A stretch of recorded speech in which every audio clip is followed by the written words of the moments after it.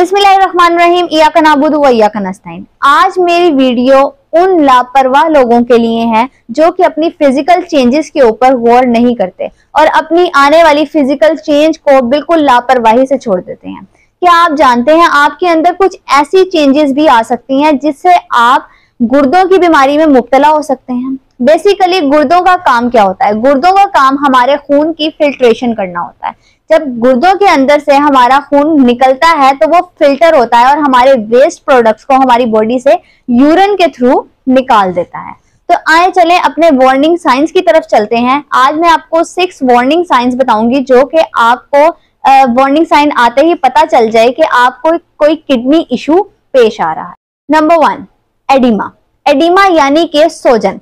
जिसम के अंदर इजाफी फ्लूड के जमा हो जाने की वजह से सोजन आना शुरू हो जाती है।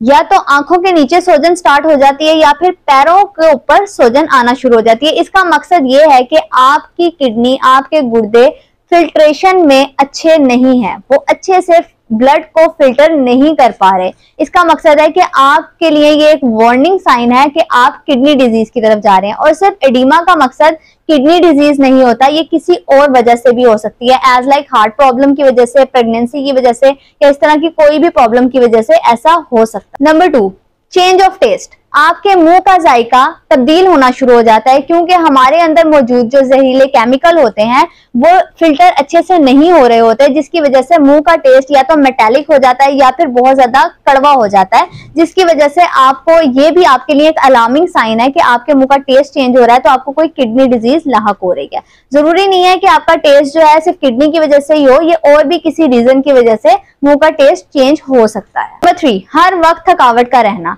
आपके जिसम के अंदर टॉक्सिन्स जमा होना शुरू हो जाते हैं, जो कि आपका किडनी जो है वो अच्छे से फ़िल्टर नहीं कर रही होती, जिसकी वजह से आपके अंदर हर वक्त थकावट ज़्यादा रहना शुरू हो जाती है और हो सकता है कि आपके अंदर एनीमिया भी होना शुरू हो जाए, यानी कि आपके अंदर खून की कमी लाक हो नंबर फोर यूरेमिक फ्रोस्ट यानी कि यूरिक एसिड आपके खून में जमा होना शुरू हो जाता है। जो केमिकल किडनी ने फ़िल्टर करके बाहर निकालने होते हैं, वो किडनी फ़िल्टर नहीं कर पाती और उन केमिकल्स की वजह से वो केमिकल आपके खून में ही रह जाते हैं, जिसकी वजह से यूरिक एसिड की बीमारी आ जाती है। यूरिक एसिड की वजह से भी आपको किडनी की डिज़ीज़ हो सकती number five high BP blood pressure का हाई रहना। किडनी के जो हमारे फ़िल्टर होते हैं, जिनको ग्लो ग्लोमेरुलाई बोला जाता है, उनके अंदर प्रेशर इंक्रीज हो जाता है, बहुत ज़्यादा बढ़ जाता है, जिसकी वजह से आपका बीपी हाई रहना शुरू हो जाता है। और आपके अंदर मौजूद जो फिल्ट्रेशन प्रोसेस होता है, वो कम हो जाता है और हाई बीपी ज़्यादा होने की वजह से आपको किडनी की डिज़ीज़ हो सकती है।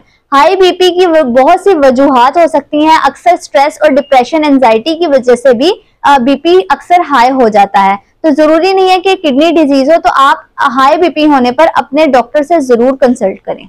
Number six protein in urine आपके पेशाब में प्रोटीन आना शुरू हो जाती है, जो कि आपके खून के अंदर मौजूद प्रोटीन होती है, वो अच्छे से फ़िल्टर नहीं हो पाती, जिसकी वजह से वो आपके यूरिन में निकलना शुरू हो जाती है। और इसकी सबसे बड़ी निशानी ये है कि जब आप यूरिन करते हैं तो उसके ऊपर बबल्स आना शुरू हो जाते हैं। जैसे जब आप अंडा फ्राई करते हैं तो उसके ऊपर बबल्स आते हैं तो ये वो सेम प्रोसेस होता है, क्योंकि उसके अंडे के अंदर भी मौजूद प्रोटीन होती है, जिसकी वजह से उसके अंदर बबल्स आते हैं। तो आप इसको थोड़ा सीरियस लें।